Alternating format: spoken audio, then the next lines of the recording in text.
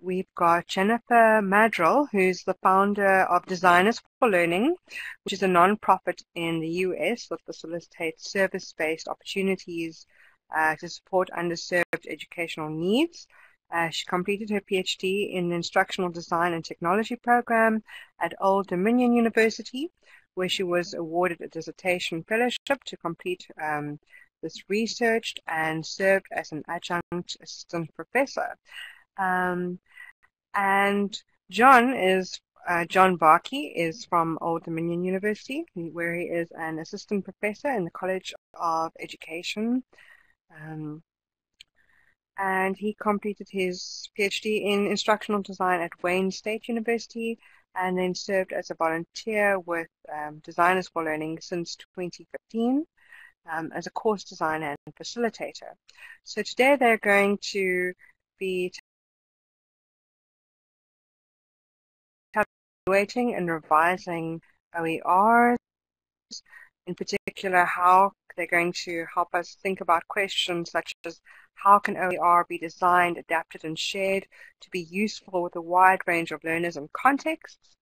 How can OER be easier to find and OER programs be financially self-sustaining? And how can we design, evaluate, rank, and document OER quality? Um, yeah, so thank you very much. We look forward to your presentation today, Jen. And John, um, over to you. Great. Well, thank you so much for having us today. And Nicola, I was so fortunate to meet you in the hallways of a conference last fall um, for the Association of Educational Communication and Technology. And I believe that was the official partnership between that organization, AECT, and Emerge Africa. And so I think this is a really, um, it's, a, it's a great opportunity for us to continue the conversation we had in the hallway in our session today. Um, and I just, as a moment, um, take a moment just to talk about how John and I work. We're very informal people. Um, we definitely both love um, participation in the text chat, and if you'd like to interject and ask questions, please do so at any time, and I'll call on uh, Tony and, and Nicola to help us um, in case we don't see any of the questions or comments coming through on the text chat back channel. But um, as I said, we're, we're very informal, and we do have certain slides and things we'd like to, to have a chance to talk about. But um, if, if something else comes up that we'd, we'd like to, to discuss, please interrupt us. Here's what our faces look like. Um, I'm on the right. Uh, my name is, again, Jennifer Maddrell. And John, do you want to just say hello? Hello, everyone. Good afternoon and good morning to those in the States. So he does exist. He's actually here with us today. Um, and again, John will be just interjecting as well as we go through. So I just wanted to spend a little bit of time talking about who we are because I, as we talked about in the, before we turned the recording on about 10 minutes ago or so, we have a lot of similarity with Emerge Africa in terms of how we began and what uh, we hope to become when we grow up. Uh, we started as a nonprofit, uh, which is an NGO in the United States in 2014. But before that, we were all faculty, those of us who founded the organization, and we were looking for ways for our students in our graduate instructional designs to have opportunities to apply um, the instructional design techniques that they were learning in, the classroom in the real world. And so we would use an, a, an, approach, an educational approach that we term here in the United States called service learning. And I believe from what Nicholas said, it may have a little bit different um, definition and, and, terminology in different parts of the world, and I'll just explain in a moment what we mean by service learning. But our organization, our mission is to provide service learning opportunities to instructional design students to learn their craft, and we do this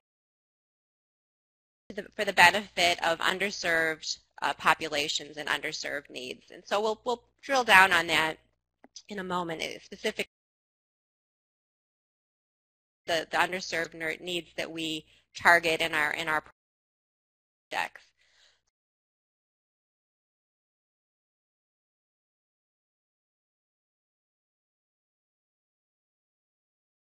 So term service learning, what we're talking about is a combination that are laid out in this uh, exhibit here. High. The first being the academic coursework. So in our case, it's instructional design coursework. Um, there's the piece of includes work-based applied learning, so experience learning opportunities. But the piece of the pie that is unique to service learning is this idea of community service. So that the work that the students based applied learning opportunities is geared toward in some way, in some fashion, benefiting a community. Uh, and we'll talk again in a moment about the community that we're focusing on. And so our targeted serve, underserved needs that we've been working on for the past is adult basic education. And again, this requires a little bit of um, explanation and terminology because it is a, uh, this concept is uh, has term terminology across the, the globe. But in a nutshell, in a, in a, in a uh, quick, concise definition, we really are targeting the uh, seven basic literacy skills, so literacy and math skills um, that would be, um, uh, in, in, the United States, the equivalent of someone who completed high school. Uh, very often, they've dropped out of education uh, before years old. And so that's really the, the targeted underserved that we're focusing on in our experiences. And the way we conduct our projects, they're all 100% virtual. Um, for the past 18 months, we've focused on service learning MOOCs. And before we jump too far ahead in talking about a MOOC, I've, I often assume everyone age knows what this is. Um, but it's basically a massive open online course. And um, I just had a quick question on uh, the text chat. How many of you have participated in a MOOC or maybe facilitated a MOOC? If you could just put your response in the text chat because it will help John and I as we have a better understanding of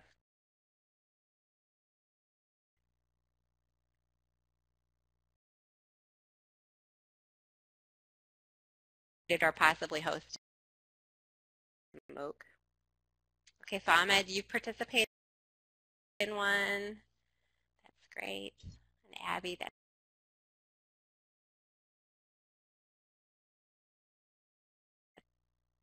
Good, that's great. And I, I, I just throw that in now because I've made the assumption too many times what a MOOC is and the group is, is well versed on, on what MOOCs are. That's great. If you'd like to know more about our MOOC, um, I'll have the next few slides can find us and actually how you can participate with us. We have our MOOC starting on March 20th and it runs for six a platform called Canvas Network. I'm assuming some of you, as long as we have a lot of folks here in higher education, are familiar with Canvas is a learning management system that's very popular here in the United States, and there is um, time they've been around. I believe they've only really been around in the shorter part of the last um, and they've really taken higher education by storm. And they have carved out a niche MOOCs. They're free and they're available for non and other universities to be able to host large-scale online courses. And we, we're now going to have our third iteration of our starting in March. So if you head over to Canvas Network, poke around, you'll be able to find our MOOC with the title is listed here. It's the Instructional Evaluation Service. Um, specific links. Uh, and Nick, thank you very much. She put a link in the text chat out about our, our MOOC and, and find it. There's the picture then of what we look like. So if you look on the page, that's what the, the, the catalog, that's what our, our page looks like. So let's just drill down a little bit and talk about what the focus is. Getting back to, the, as, as we were billed here, this is a conversation about open educational resources, and I've yet to say that term, so had to have quite a long preamble to, to get to this point. But our project-based course um, is set up for students who join, who join the MOOC will gain instructional design experience while they're evaluating and redesigning open educational resources and the open educational resources they're creating are for the benefit of adult basic education programs. So to give you an example, it may be a lesson on um, somehow bringing in uh, teaching about fractions, but embedding it within a context that would be relevant to an adult as they're attempting to find a other job or maybe trying to pursue, uh, finish their high school um, credentials to be able to go on to college. And so the types of um, lessons that are being by the participants in our MOOC. Then is to succeed, hopefully succeed, in bringing together two groups with overlapping needs. We have adult basic education programs in need of resources, and in particular free resources. It, uh, the open educational resources, uh, the, the resources for free, and then we have the group of instructional design students who are looking to gain experience in instruction. And so by bringing them uh, these needs together within our MOOC, hopefully are the two, two that we're serving within our within our projects. And just to give you a snapshot, um, and I think this might be a group, given uh, most of you here are in higher education, most of the participants who join our MOOC already have their master's degree. Um, and so they're either um, completing their master, or about to complete their master's degree or completed it. And in fact, we have a lot of again completing the process of completing degrees. So again, these are folks that are, are looking for opportunities to give back. They're looking for opportunities to uh, test their skills in instructional, and they're using our MOOC as a means of doing that. One thing that we're um, hoping and through efforts like this to expand is our participation outside of North America. At the last two MOOCs that we had in 2016, the majority of the participants came from North America, most from the United States and a few from Canada. Um, and then unfortunately uh, we were a little sparse outside of the United States. And so again, hopefully in outreach like we're doing today, um, we can expand our reach and include um, more participation from outside, the, outside of North America. just to give you a sense for why people joined our MOOC, um, we pulled back some snippets that we uh, conducted and that we received from a survey that was participants. Um, very much hear over and over that people to build their skills in instructional design, uh, to meet current career needs and hopefully leading to better jobs and better promotions in the future. Um, again, this idea of building their skills. And there's also um, something I think that really parallels with Emerge Africa is that um, there's a sense through the MOOC that we're building a community of volunteers. And uh, we have a LinkedIn group, for example, with it that has about 600 um, people that are interested in, in, finding ways to leverage the relationships they're getting within the MOOC outside of that, maybe you know, potentially finding better jobs or career promotions, things like that. And it looks like Tony has a question. Um, how many participants were there last time? Um, how massive is the MOOC? Yeah, the M is always an interesting uh, piece of the acronym, isn't it? Um, in in uh, the first MOOC we had, we had uh, 2,100 people, and the second MOOC we had about 1,300 people. And in our next MOOC in the spring, it's going to be a shorter duration and a focus on evaluation, so we're targeting about 600. So we certainly aren't in the category of some of the MOOCs that you hear that have tens of thousands of people. Um, and it, we're very hands-on within the MOOC. We have about um, a dozen facilitators in the past uh, who are also volunteering. And so we try to keep um, keep it in a uh, still like a regular online class where you have the interaction among participants and the facilitators. And so uh, again, we're not in that uh, tens of thousands, but it's uh, it's still, I guess, a, a massive in, in the M sense compared to a, a, class of 20 or 30.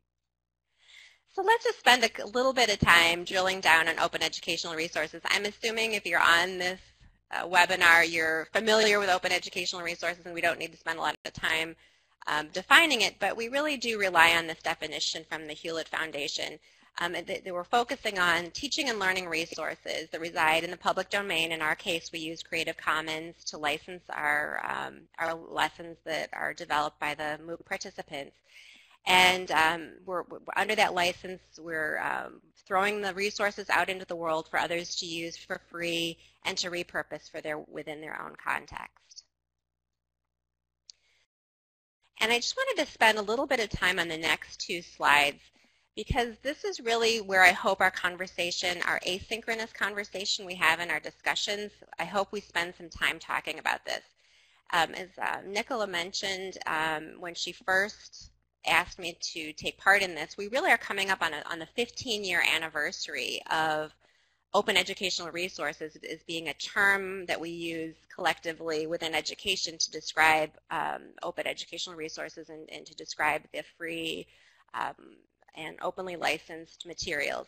And so I wanted to take a moment to, to pause and look at what the original goals were and the vision was for open educational resources. And there's a link at the bottom of this page um, to an, a UNESCO document. In, in 2002, they, UNESCO convened a forum of invited participants from higher education across the world, as well as from some NGOs, to contemplate what could be and what, what, what we could create.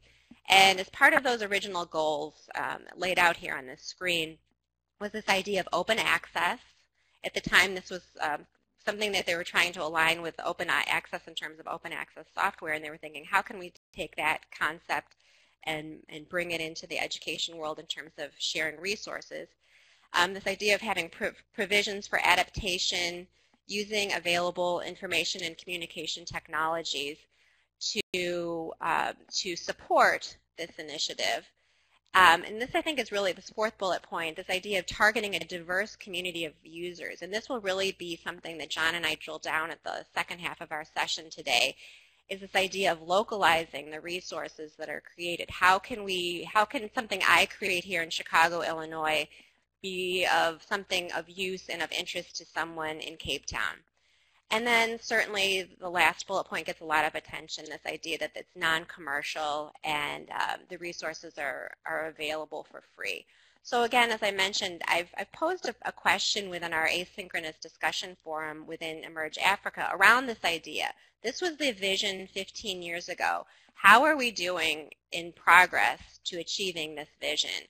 Um, and I think it'll be really interesting for all of us from our different perspectives, from where we sit in different places in the world, where we sit in different jobs and working with higher education or maybe K-12 or you know, uh, with working with kids.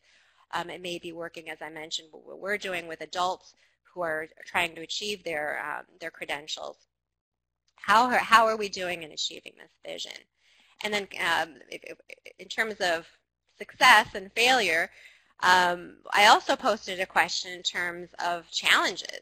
Well, this is a very lofty goal that we have in terms of being able to offer these resources for free to those out in the world. It's not easy, and we certainly have run into a lot of challenges um, in putting together our MOOCs and putting together, adapting resources that are already out there. And some of the, the things that, that come out were highlighted in an article, and unfortunately it's behind a paywall. But I do have the link there to an article from Wiley Bliss and McEwen um, that was published in uh, the handbook for uh, the AECT, the organization I mentioned early, the, earlier, the Association for Educational Communication and Technology. And they pre uh, prepared a nice overview, a nice literature review of open educational resources, the kind of the state of things, how, how are things going, and they've identified these as being really the biggest challenges that we have yet to overcome. this idea of localization that I just mentioned a moment ago. How can OER be used and designed and adapted in a wide range of contexts? And this is a really big deal. When we first started out in Designers for Learning, we thought we could just take available resources that were developed for children and then somehow make a few tweaks, and then that would be applicable to teaching the same subject matter, but to an adult educate, uh, an adult um, learner. So I guess using the example I used previously, say for example teaching fractions, one would just on the surface think, okay, we have lots of lessons on how to teach fractions to a, a, a you know a, a nine-year-old. Why can't we just take that material and present it to an adult and uh, and have success? And unfortunately, it doesn't work that way. Uh, for one thing, adults are put off when they're looking at resources designed for a child, uh, when they have graphics that are cartoons, uh, maybe a dancing cartoon going across the screen is very offensive to an adult who's very serious about their education and what they're trying to achieve. That's one example. Um, and then also these challenges associated with remixing. I talked a moment ago that we use Creative Commons as um, the, our vehicle to license our um, our materials. However, if anyone spent any time looking at the Creative Commons licenses, it's not just one license. There are multiple licenses, and not all of them play nice with each other. They don't all mix properly, and so that's one consideration that you have to um, that we've run up against, and, and is a big challenge. And also, you get into issues of pedagogical purposes and the context and the learner audience. Uh, I may develop a lesson that's wonderful for my learners in my context for my purposes. But if you pick up that resource, it's very likely you're going to have to make substantial changes to it in order for it to make sense for your learners and for your context and your purpose. Um, then there's some just some very practical considerations uh, with, with sharing things with the world. Um, discovery. Um, how can this OER be put out in a place where people can find it? And then when you have that platform, how do you pay for it? Um, what's the what's the sustainability model? How will that program to support OER be financially self-sustaining? And then certainly the big question, and I think this I'm finally probably what 20 minutes in here getting to the heart of uh, why Nicola invited me here, is to talk about quality. Um, and this certainly comes up a lot when people are saying, why would I use a free resource when I can go out and buy a textbook that I know is well vetted, it's been edited by uh, a publishing house, and um, so because it comes in a nice, pretty book that's bound, it certainly has to be better than some free resource I find on the internet.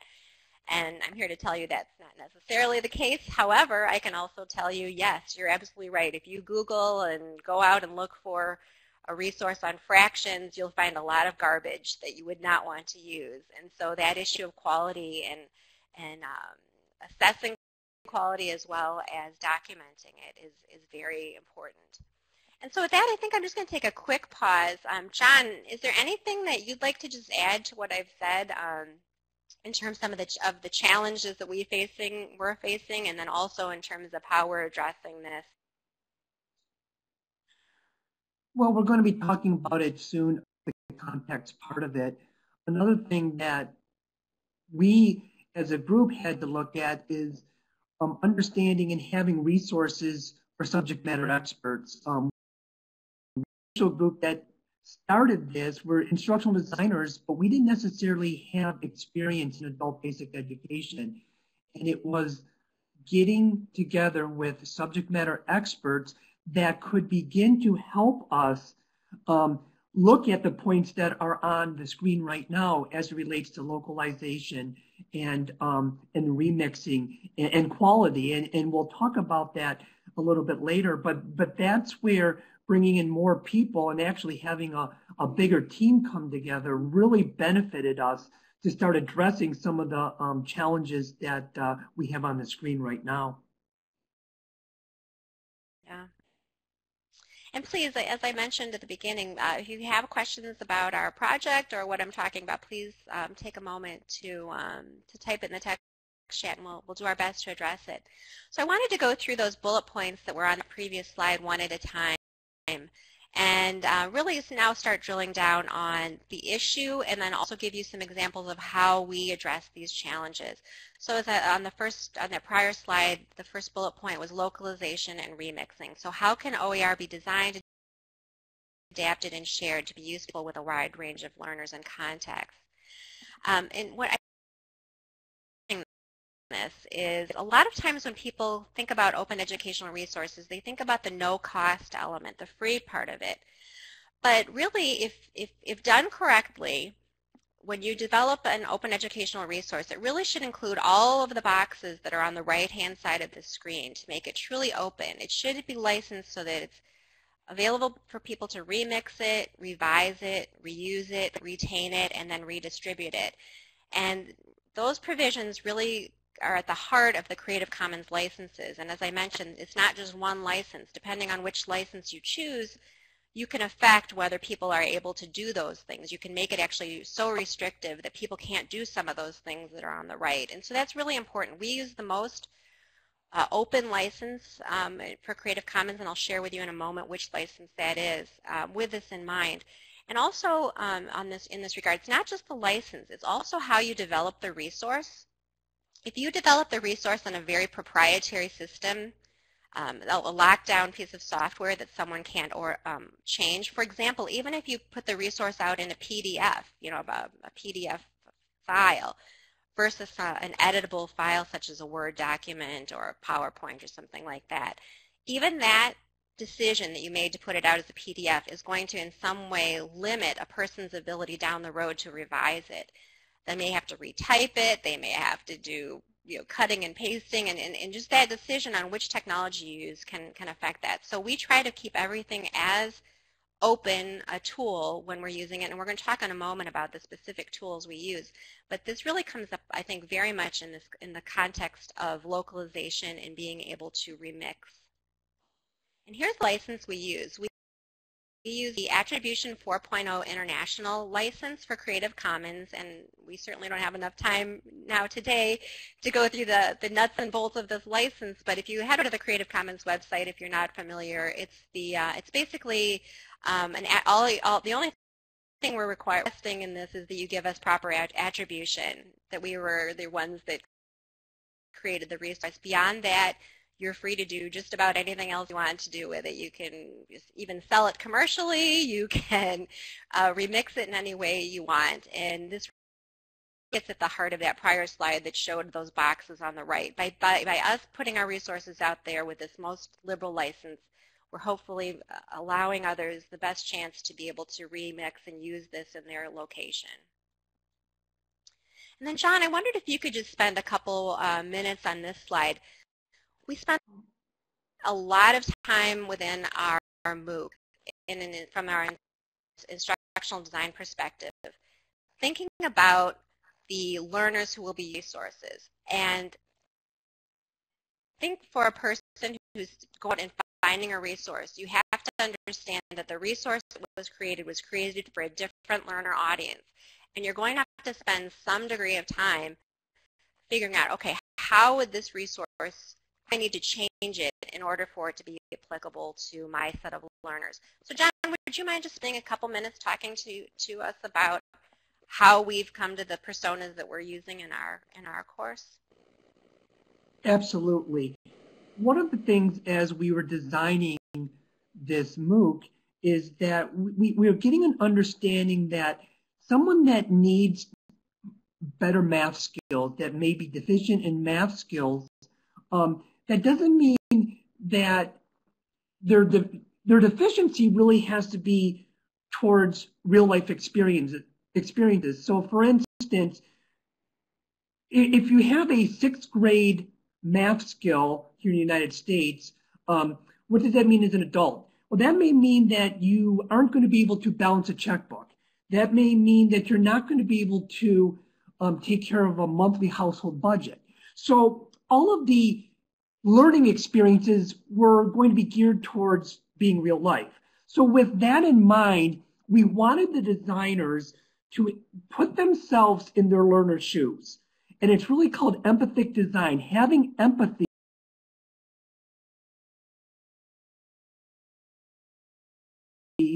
we did a lot of research working with subject matter.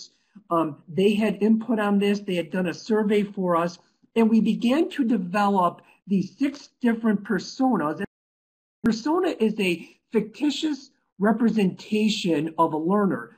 But even though it's fictitious, it's based off of data. So personas need to be authentic and they also need to be engaging. So the designer engages with the persona says, oh yes, I can connect with that person. And by me being able to connect with that person, able then to connect, immerse myself with them, and then step and say, how can I help that person? So we created these six personas. And these six personas represented adults that are looking to um, get their high school high school equivalency um, exam completed in the United States. So we had Jeff, Crystal, Jamie, Ann, Malcolm, Mary, and Robert. Each one of them had a different context. Jeff was from the Midwest the United States, which, which is a lot of land. Um, um, Crystal was more from an urban area. Robert, believe it or not, um, was um, in jail. And in the United States, um, there's this whole area where prisons and jails are now creating these opportunities for those that are incarcerated to to learn and be able to work towards getting um, a a high school equivalency um, diploma. So Robert represented somebody that was incarcerated, and using these personas, we had the designers throughout the MOOC continuously check back as they were designing. And they helped the personas create the context, but then they also helped the focus and kept the designers thinking about who am I designing to? Who am I designing to? Because our designers were coming from different contexts. Some designers were already adult basic educators who are, are working with adults, but in the farmland of the United States. Those learners have different needs and there's different challenges that they have. So that really is what we were working with. And we saw in, in, and this is a research interest of mine, we saw that the designers used these personas throughout the um, design of their learning experiences. And we also saw it very deep into designing them, which was really an interesting finding that it's in, in the, in the brainstorming part of their design at the beginning, you know, you would expect them to say, okay, who's my learner? Who's my learner? But as they continue to refine their learning experiences and they continue to get feedback from um, other people in a formative evaluation setting, they continuously went back to their learners and, and were calling out, well, I'm, I'm, I'm designing for Mary. And would Mary be able to get something out of this learning experience? So creating this context, creating this, this empathic design situation where the learners could put themselves in their learner's shoes really helped for this whole concept of localization. And as I mentioned, our next MOOC is going to be an evaluation MOOC, and we're carrying this concept on to that. So when the um, MOOC participant is uh, finding an, a resource, we're asking them to go back to the resources that have been previously created, and then either create Zona, uh, again, if we're talking about someone outside of these six uh, personas we've created, if it's in a different context and you would like to adapt the lesson, consider your persona, eh, or consider the, I'm sorry, consider the resource in light of the persona. And I think this is really important for anyone who's going out and looking at a resource. I really, I'm kind of harping on the point here, but I, I think it really is important to, to, to know that the resources very rarely can just be taken at face value and just hand it off to a, to a learner. There needs to be some process where you consider your audience. And Tony mentioned, um, you know, is this similar to human-centered design? And I think it does in that it's it's very learner centered. It's this idea that um, the, the, the, the essence of a lesson, a lesson of essence of instruction starts with the learner. And until you have your head around uh, from the design perspective and the designer who your learner is, uh, that this process I think does need to happen. Someone else mentioned that they had not really thought of this in the context of working with OER. Um, but I, I, think it really is um, is something that we're going to be at least testing in our MOOC, and uh, we've certainly done research on in the design phase that we feel it's a very important part of the design process. Um, discovery and sustainability. Um, well, we've been very, very fortunate to uh, partner with OER. They've been a huge supporter of our work. They've attended conferences with us. They've been, um, been part of some of our um, sessions we've had. They're a very amazing organization. If you haven't gone to the OER Commons website to see what they have to offer or in ways that you can potentially build out your OER um, and initiatives, it's a great place to start. Um, so it's at oercommons.org. And so we use this platform to not only house the resources that we create, but to also find resources that others have um, have, have put out into the universe and find ways to adapt. So let's just drill down on this a little bit. So to create the resource, they have a, an authoring tool called Open Author. It's free to use, and this really helped us in terms of our sustainability. We originally were thinking, okay, do, we should we, kind of the whole um, the make or bill, uh, or, I'm sorry, make or buy decision. And so our decision was not to, to make our own platform or to make our own uh, authoring tools. We decided to use the resources that are available for free, which has its pros and its cons. Uh, certainly the pro is that it's free and it's a very sustainable and very uh, stable platform but it's not very customizable. It, you kind of take what they, they offer. Unfortunately, the tools are very, very good. But when we were first making the decision on whether to go with OER Commons, there are limitations when you use perfect for use, but it, it really does at least 80% of our needs. And hopefully down the road we can work with them to tweak it for the, the 20%. For example, uh, their site is very much geared toward higher education and um, K-12 education working with children, and so they don't have a niche really carved out for this adult basic education. Um, so that we, we, run up against that every once in a while when we're asked, for example, to uh, to tag a resource for a certain learner group. We don't have the ability to tag it for adults um, look you know, adult basic education. So one of the tools that um, they offer is Open Author, and I highly recommend at least going onto their site and playing around with it if you're looking for a way. Like Docs, it's very easy to use, very user-friendly, and it allows you to um, embed, for example, a YouTube video or another type of document or an image and uh, also add your own text. So that's how we create the resource. And then um, back on this prior, um, it's, it's also the way that once the resource is created, it's stored on OER Commons within a group that, that we have specific to our, our project. And then anyone who comes to the site, when they search for resources, they they could then very quickly, uh, by putting in the search terms, find the resources we created um, again, assuming that they put in the, the appropriate search criteria. Now, in terms of quality, this again is that million dollar uh, question. How can we design, evaluate, rank, and document OER quality? And we'll, sh we'll share with you some of the things that we're doing on our end, and hopefully these are things that um, you can take back to your practice as well. We really, everything we do is built on this, these sound instructional design processes and, and principles.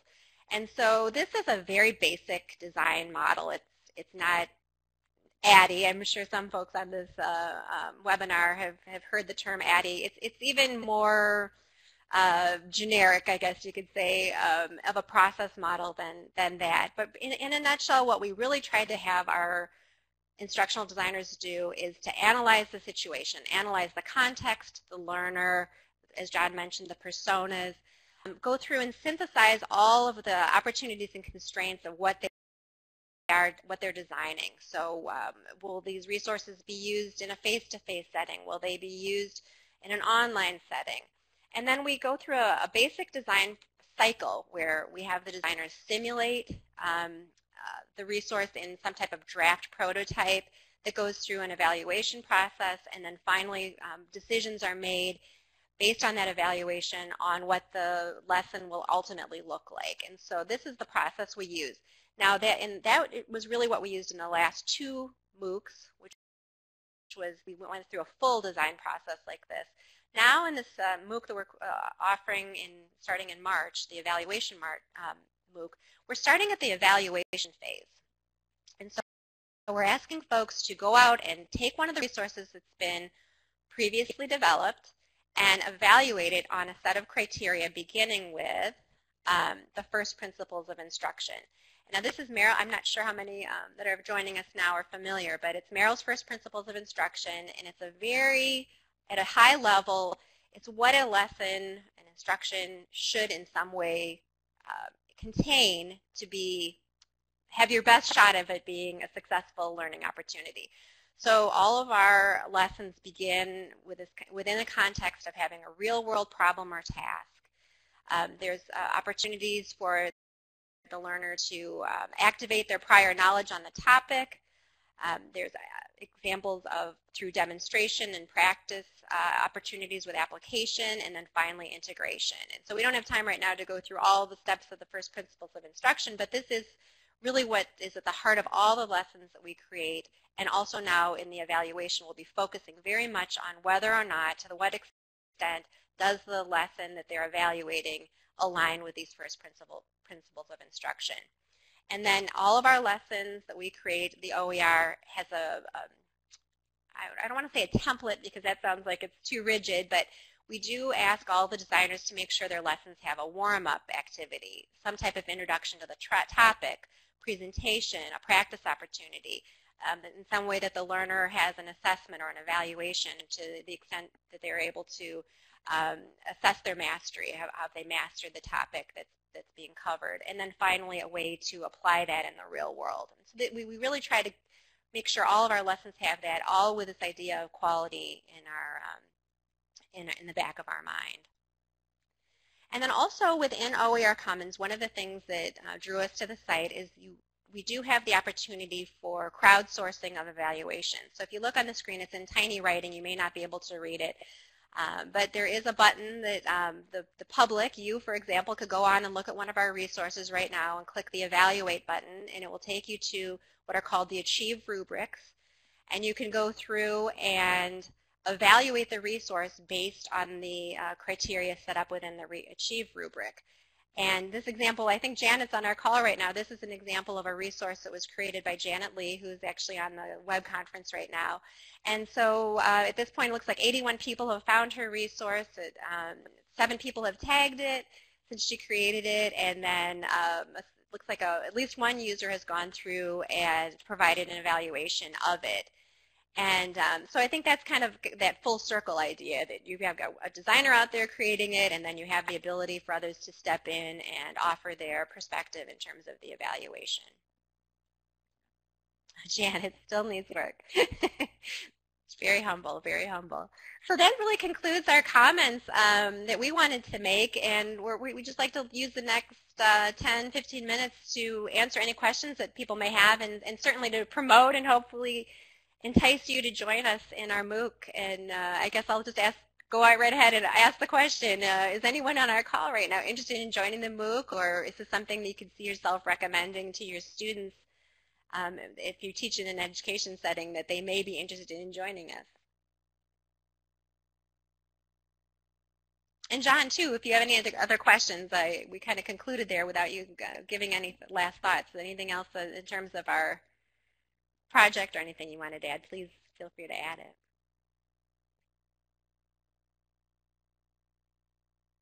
Oh, cool. I'm reading some of the comments here. So Jerome is mentioning, um, yeah, designing with the learners in mind. Yeah. Categorize. Oh, that's really interesting. Jerome, if you could drill down on that for us. Jerome is mentioning that um, they categorize the learners and use it as a guide. I'd be really interested to see what that process is like and, and how, and John and I have certainly had discussions on how formal that process needs to be. in terms of um, analyzing learners and, and trying to assess some type of persona.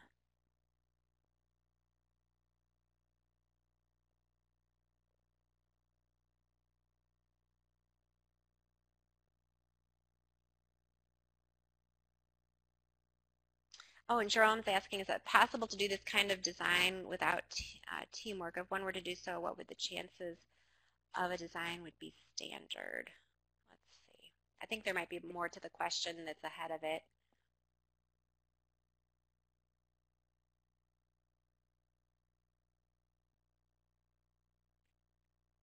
Yeah, and just to clarify, I think I'm getting um, the, the gist of the question we the design of the work that we're doing within our MOOC, either you can work individually or you can work on a team, but I think what you're getting at is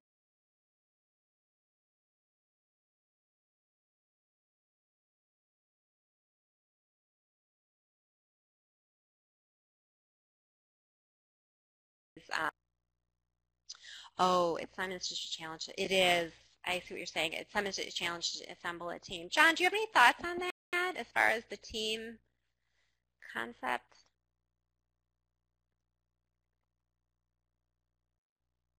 I know, you know, in our case, it was very, very helpful to have the team, um, you know, working with us. Um, I think that I believe that it could be done without a team. I just think that the team was, you know, beneficial for us. And, and if you can get yourself in a position where you can have um, other resources assisting. You know, I, I can't say enough about how the subject matter experts assisted us in really understanding what is happening to um, the population of the United States of these, you know, 700 million people that don't have um, the, um, you know, the, the education, you know. Yeah. And, uh, and Jerome, I think um, just to tie on what John was saying, I, think the the most crucial part of a quote, and I'm putting in air quotes so you can't see, of a team is the subject matter experts. While those of us, John and myself and the other designers on the team, had expertise in instructional design, we did not have expertise in terms of the learner audience and the context. And so we would not have done very well had we not included those subject matter experts as part of our team. So I think at some level, I'm maybe not in terms of how large your team is, but more in terms of what uh, expertise and what background they bring. As long as the people that are on your team are very well versed in the learner audience and the context, I think that's important. So certainly, as you're saying, sometimes you as a designer may be the subject matter expert if it's something you're aware of. But if it is something outside a learner population that you're not familiar with or a context that you're not familiar with, then it really is crucial, as John said, to bring in members from the team that have expertise in that. Yeah, and uh, Nicola, uh, you asked a great question to kind of tag teaming on that idea. Can people who are who are not subject matter experts create OERs? Most certainly, and in fact, I think going back to this idea of team, it's a great teamwork to have a person who's an experienced or a trained instructional designer work with a subject matter expert. Um, and I think uh, um, unfortunately attended classes that were designed by subject matter experts who weren't instructional designers. And that doesn't often work well. They may be very well versed in the subject matter, but don't have, um, going back to that idea of Merrill's first principles of instruction, it tends to be what I term shovelware, where they give you a whole bunch of subject matter uh, content, but it's not embedded in an experience um, that's very much geared toward the learner.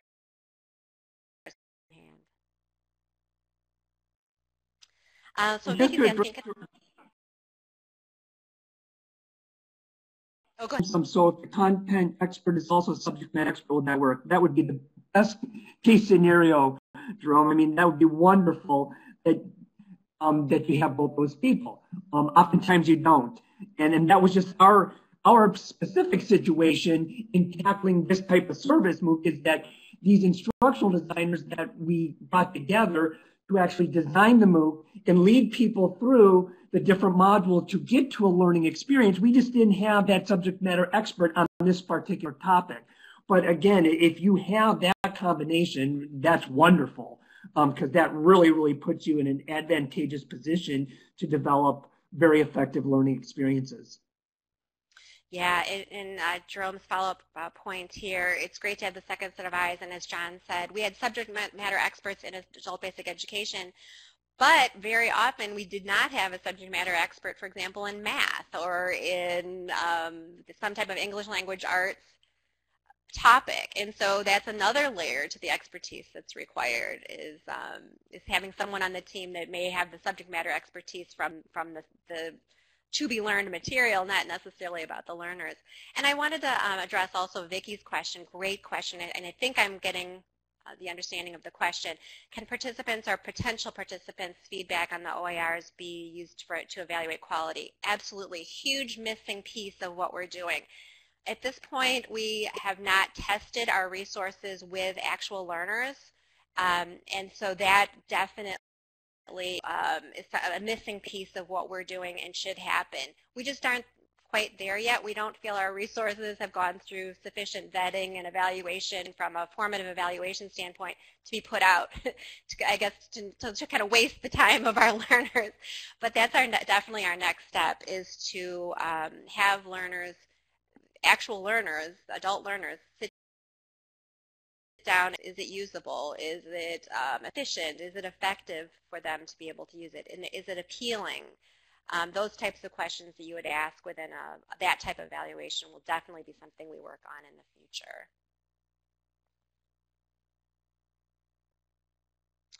Um, let's see, uh, Nicolo's asking, how does one decide on criteria to evaluate quality? So what we're using, and certainly there are lots of ways to evaluate quality. There are lots of evaluation rubrics out there. What we're relying on is very much going back to the drawing board in terms of what did we use as our measures and metrics for quality when we designed, uh, using that uh, Merrill's first principles of instruction, and then we're also layering in some other things such as um, um, some affective considerations, which gets into appeal, usability, um, efficiency, things like that we're also layering in within the MOOC. Um, but we're really uh, relying pretty heavily on the same types of criteria we used when we designed the MOOC um, as what we're using as our evaluation criteria.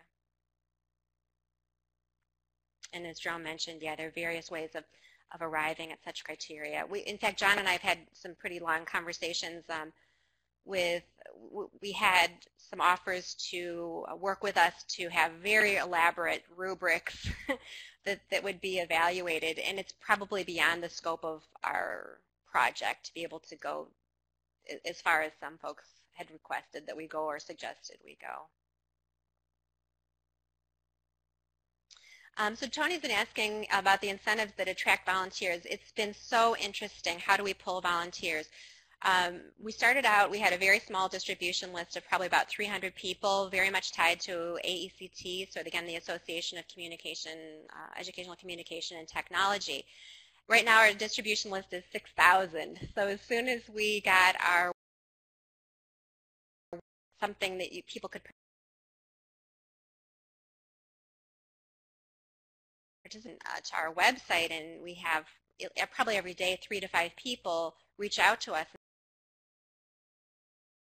and say, instructional design program, it's been a great program, however, I don't have the, I've never had the opportunity to test my skills in a real life context. And, um, and that's really what the, the niche, the, the piece of the puzzle that we're able to offer. And so through word of mouth, we've been able to, through faculty and through students telling each other about our opportunities, um, get the word out. And, and again, in about two years, we've gone from 300 contact, contacts to over 6,000. Yeah, we it, Tony, you mentioned wild expansion. We agree. we're we're pretty blown away. And when we when we put out put out our first call for our MOOC, I think, John, what was our, our first target? In the hundreds. We thought maybe we'd get 600 we thought was kind of a wild number, and we ended up getting 2,100 people signing up for our first MOOC. So we were pretty surprised as well. And Janet's mentioning, she's a perfect example. Janet was in a master's degree program at um, University of Tampa when she found out about us. And um, she's been great. She went from being a student participant to the last two uh, MOOCs. She's now going to be a facilitator helping us facilitate the experience.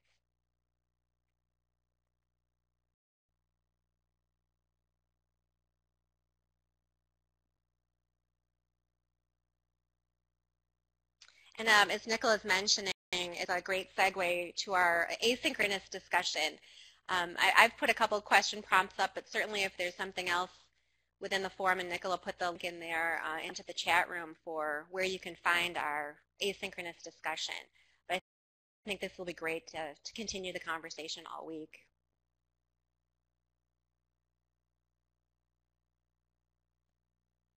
Oh, indeed. Thanks so much, Jen and John. That was absolutely amazing. And yeah, as Jen said, here's the link to the forum.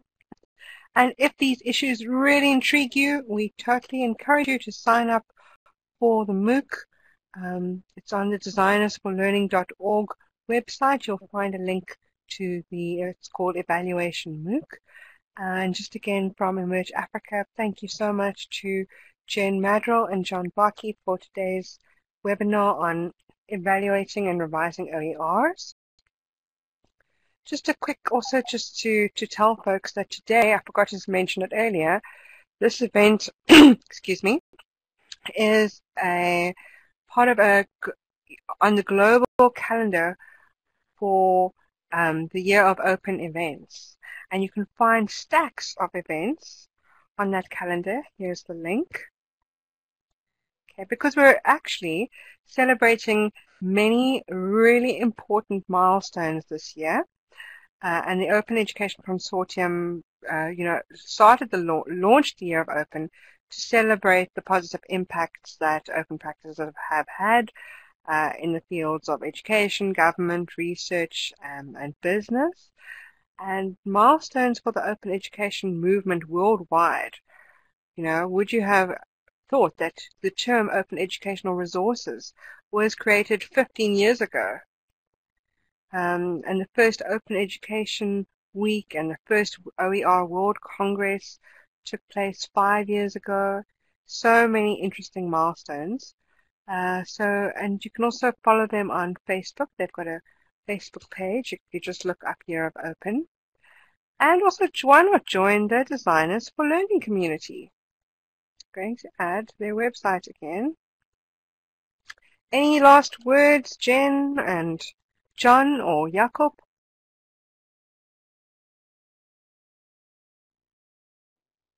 I just want to thank you very much for the opportunity. As I said, we're very North America centric right now in our projects and we're so excited to have the opportunity to expand our, our reach and include everyone who's listening to my voice right now.